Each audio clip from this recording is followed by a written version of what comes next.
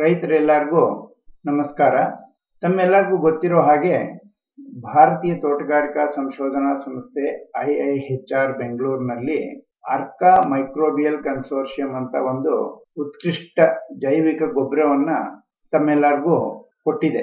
ಈಗ ಈ ಅರ್ಕ ಜೀವಾಣು ಗೊಬ್ಬರದ ಬಗ್ಗೆ ಕೆಲವು ಅನುಮಾನಗಳನ್ನ ರೈತರು ವ್ಯಕ್ತಪಡಿಸ್ತಾ ಇದ್ದಾರೆ. ಆ ಅನುಮಾನಗಳನ್ನು ನಿವಾರಣೆ ಮಾಡೋಕ್ಕೋಸ್ಕರನೇ ನಾನು ಈ ವಿಡಿಯೋ ಮೂಲಕ ನಿಮ್ಮ ಮುಂದೆ ಬಂದಿದ್ದೇನೆ.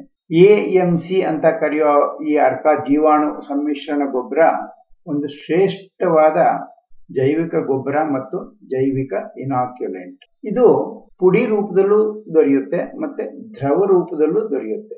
ಬಾಟಲಲ್ಲೂ ಸಿಗುತ್ತೆ, ಪ್ಯಾಕೆಟ್ಗಳಲ್ಲೂ ಸಿಗುತ್ತೆ. ಈಗ ಇದು ಯಾವ ಬೆಳೆಗಳಿಗೆ ಬಳಸಬಹುದು ಅಂತ ಕೆಲವು ರೈತರು ಕೇಳ್ತಾರೆ. ಸಾಮಾನ್ಯವಾಗಿ ಇದನ್ನ ನಾವು ಮಾಡಿದ್ದು ತರಕಾರಿ ಮೆಣಸು ದಾಳಿಂಬೆಗೋಸ್ಕರ ಮಾಡಿದ್ವು. ಆದರೆ ರೈತರ ಅನುಭವಗಳನ್ನು ನೋಡಿ ನಮ್ಗೆ ಈಗ ಮಾಹಿತಿ ದೊರಕ್ತಾ ಇರೋದೇನು ಅಂದರೆ ಇದು ದಾಳಿಂಬೆ, ಶುಂಠಿ, ಕಾಳುಮೆಣಸು, ತರಕಾರಿ ಬೆಳೆಗಳು, ಹೂವಿನ ಬೆಳೆಗಳು, ಅಡಿಕೆ, ತೆಂಗು, ಹತ್ತಿ, ಕಬ್ಬು ಎಲ್ಲ ಬೆಳೆಗಳಲ್ಲೂ ಇದರ ಲಾಭ ದೊರೀತಾ ಇದೆ. ಒಂದೇ ಒಂದು ರೈತರಲ್ಲಿ ನಾವು ಕೇಳ್ಕೊಳ್ಳೋದೇನು ಅಂದರೆ ಈ ಎ ಎಂ ಸಿಯನ್ನು ಕೊಂಡ್ಕೊಳ್ಳುವಾಗ ತಾವು I C A R I I H R ಇರೋ ಲೇಬಲ್ ಅನ್ನ ಖಂಡಿತವಾಗಿಯೂ ಗಮನಿಸಿಬಿಟ್ಟು ತಗೋಬೇಕು. ಯಾಕೆಂದ್ರೆ ನಮಗೆ ತಿಳಿತಿರೋ ಹಾಗೆ ಮಾರ್ಕೆಟ್ನಲ್ಲಿ ಇದನ್ನ ಅಡಲ್ಟ್ರೇಟ್ ಮಾಡಿ ಮಾರ್ತಿರೋ ವಿಷಯ ತಿಳಿದು ಬಂದಿದೆ.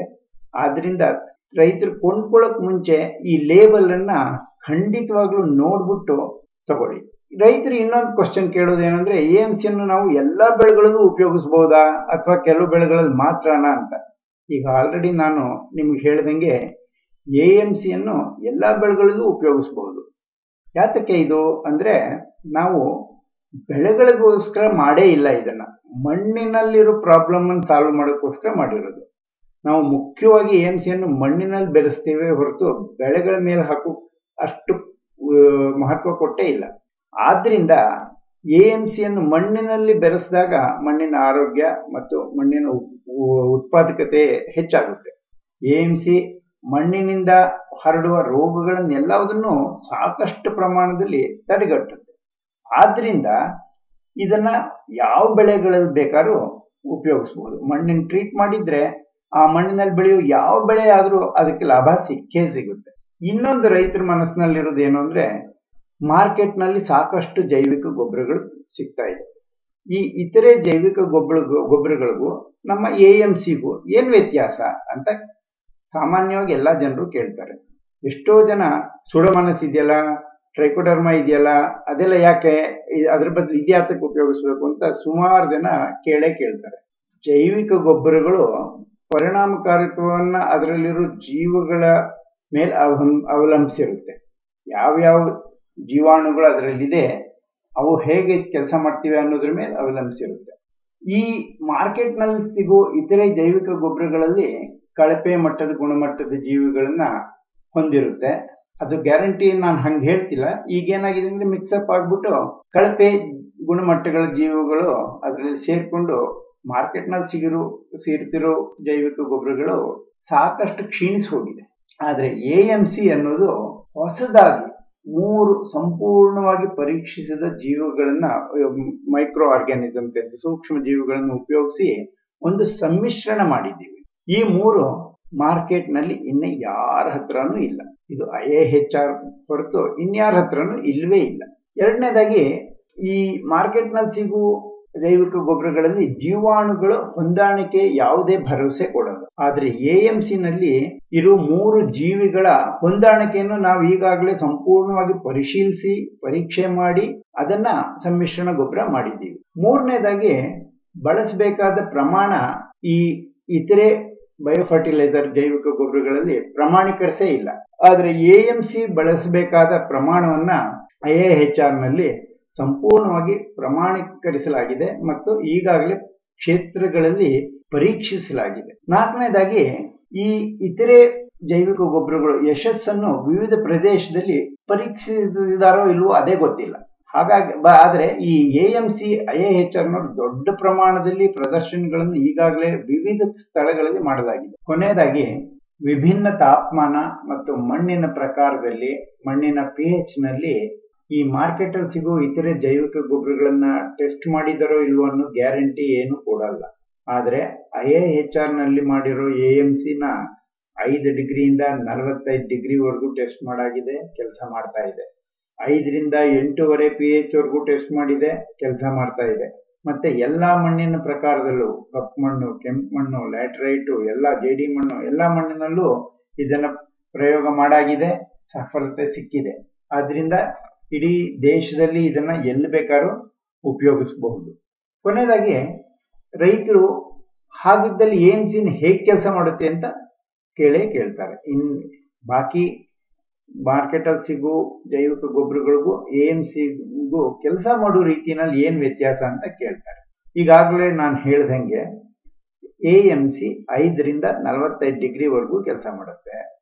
ಐದರಿಂದ ಎಂಟೂವರೆ ಸಾಯಿಲ್ ಪಿ ಎಚ್ ವರೆಗೂ ಕೆಲಸ ಮಾಡುತ್ತೆ. ಕೊನೆಗೆ, ಜೈವಿಕ ಜೀವಿಗಳು ಇದರಲ್ಲಿರುವುದು ಸಹಜ ಜೀವನದಿಂದ ರೀತಿಯಲ್ಲಿ ಕಾರ್ಯನಿರ್ವಹಿಸುತ್ತೆ. ಜೀವಿಗಳು ಸಹಜೀವನದ ರೀತಿಯಲ್ಲಿ ಕಾರ್ಯನಿರ್ವಹಿಸುವುದರಿಂದ ಒಂದು ಸಿಂಬಯೋಟಿಕ್ ರಿಲೇಶನ್ಶಿಪ್ನಿಂದ ಕೆಲಸ ಮಾಡಿ ಅತಿ ಹೆಚ್ಚಿನ ಪ್ರಭಾವ ಬೀರುತ್ತೆ. ಮಣ್ಣಿನಲ್ಲಿರೋ ರಂಜಕ ಪೊಟ್ಯಾಶ್ ಮತ್ತು ಸತ್ವನ್ನ ಕರಗಿಸಿ ಬೆಳೆಗೆ ಸಿಗುವ ಹಂಗೆ ಮಾಡುತ್ತೆ. ಇದಲ್ಲದೆ ಮಣ್ಣಿನಲ್ಲಿರೋ ಸಾವಯವ ಪದಾರ್ಥವನ್ನ ಕೊಳೆಯುವುದರಲ್ಲಿ ಸಹಾಯ ಮಾಡಿ ಎಲ್ಲ ಪೋಷಕಾಂಶಗಳನ್ನು ಬೆಳೆಗಳಿಗೆ ಲಭ್ಯವಾಗುವಂತೆ ಮಾಡುತ್ತೆ. ಆಲ್ರೆಡಿ ಈ ವಾತಾವರಣದಲ್ಲಿರೋ ಸಾರಜನಕವನ್ನು ಹಿಡಿದು ಮಣ್ಣಿನಲ್ಲಿ ಬೆಳೆಗಳಿಗೆ ಒದಗಿಸುವ ಹಂಗೆ ಕೂಡ ಮಾಡುತ್ತೆ. ಈ ಎ ಎಂ ಸಿಯನ್ನು ಬಳಸಿದ ರೈತರು ನಿಶ್ಚಿಂತೆಯಿಂದ ನೂರಕ್ಕೆ ಇಪ್ಪತ್ತೈದರಷ್ಟು ಭಾಗ ರಸಗೊಬ್ಬರಗಳನ್ನು ಉಪಯೋಗವನ್ನು ಕಡಿಮೆ ಮಾಡಬಹುದು ಈ ಇಪ್ಪತ್ತೈದು ಪರ್ಸೆಂಟ್ ರಸಗೊಬ್ಬರಗಳ ಉಪಯೋಗವನ್ನು ಕಮ್ಮಿ ಮಾಡಿ ಹಣವನ್ನು ಉಳಿಸ್ಕೋಬಹುದು.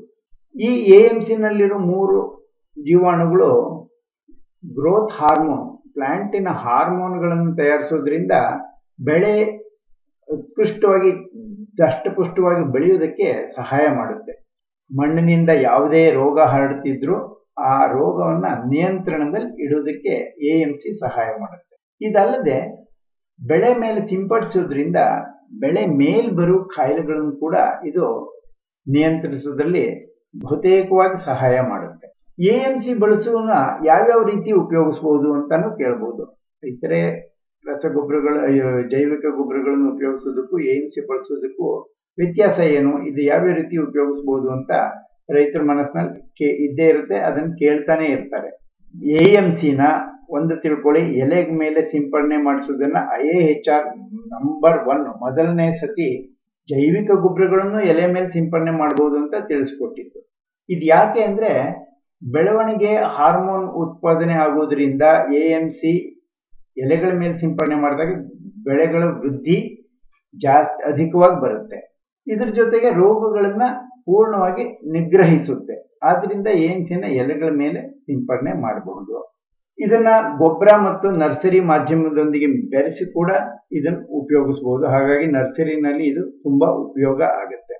ನಾಟಿ ಮಾಡೋ ಸಮಯದಲ್ಲಿ ಸಸಿಗಳ ಬೇರುಗಳನ್ನ ಎ ಎಂ ಸಿ ಬಗ್ಗಡದಲ್ಲಿ ಇದನ್ನ ಅದ್ದಿ ನಾಟಿ ಮಾಡಿದ್ರೆ ಸಾಕಷ್ಟು ಬೇ, ಬೆಳೆ, ಬೇರು ವೃದ್ಧಿಯಾಗೋಕ್ಕೆ ಮತ್ತೆ ಕಾಯಿಲೆ ಹರಡೋದನ್ನ ನಿಲ್ಲಿಸೋದಕ್ಕೆ ಸಹಾಯ ಆಗುತ್ತೆ.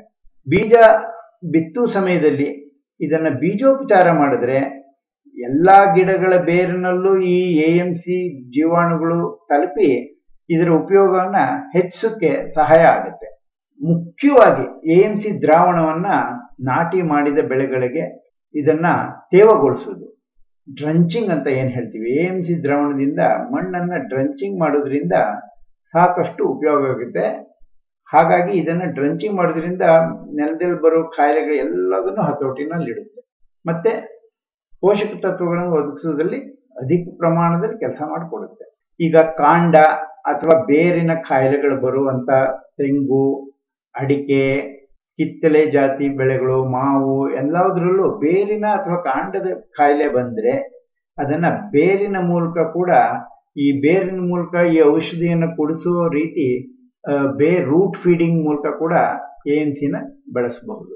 ಹಾಗಾಗಿ ಎ ಎಂ ಸಿನ ಮಣ್ಣಿನ ತೇವಗೊಳಿಸುವುದು, ಬೀಜೋಪಚಾರ, ಬೇರುಗಳನ್ನು ಅದ್ದಿ ನಾಟಿ ಮಾಡೋದು, ಎಲೆಗಳ ಮೇಲೆ ಸಿಂಪಡಣೆ ನಿಲ್ಲಿಸುವುದು ರೂಟ್ ಫೀಡಿಂಗ್ ಮೂಲಕ ಮತ್ತೆ ಗೊಬ್ಬರದೊಂದಿಗೆ ಎ ಎಂ ಸಿನ ಬೆರೆಸಿ ಮೂಲಕ ಈ ಈ ಅನೇಕ ಪ್ರಕಾರದಲ್ಲಿ ಎ ಎಂ ಸಿಯನ್ನ ರೈತರು ಉಪಯೋಗ ಮಾಡಬಹುದು ರೈತರು ಅರ್ಥಕೋಬೇಕು ಇದು ಒಂದು ಜೈವಿಕ ಪದಾರ್ಥ, ತುಂಬಾ ಸೇಫು, ತುಂಬಾ ಕಾಸ್ಟ್ನಲ್ಲಿ ಕೂಡ ಇದು ತುಂಬಾ ಕಮ್ಮಿ ಇರೋದ್ರಿಂದ ರೈತರು ಇದು ಒಂದು ಸರ್ಕಾರದ ವಸ್ತು ಅದರಿಂದ ನಂಬಿ ಉಪಯೋಗಿಸಿ ಲಾಭ ಪಡೀರಿ. ಜೊತೆಗೆ ಈ ರೈತರು ಇದನ್ನು ಉಪಯೋಗಿಸಿ ಅದರ ಯಶಸ್ಸಿನ ಕಥೆಗಳನ್ನ ನಾವು ಈ ಲಿಂಕ್ ಮೂಲಕ ಮಾಹಿತಿ ಕಾರ್ಡ್ನಲ್ಲಿರುವ ಲಿಂಕ್ ಅನ್ನು ಕ್ಲಿಕ್ ಮಾಡಿದ್ರೆ ನಿಮಗೆ ರೈತರ ಯಶೋಗಾದೆಗಳು ಸಿಗುತ್ತೆ. ಅದಲ್ಲದೆ ವಿವರಣೆ ಬೇಕು ಅಂತಂದ್ರೆ ಬಾಕ್ಸ್ ನಲ್ಲಿರುವ ಲಿಂಕ್ ಅನ್ನು ಲಿಂಕ್ ಕ್ಲಿಕ್ ಮಾಡಿದ್ರು ಕೂಡ ಹೆಚ್ಚಿನ ವಿವರಣೆಗಳು ನಿಮಗೆ ಸಿಗುತ್ತೆ.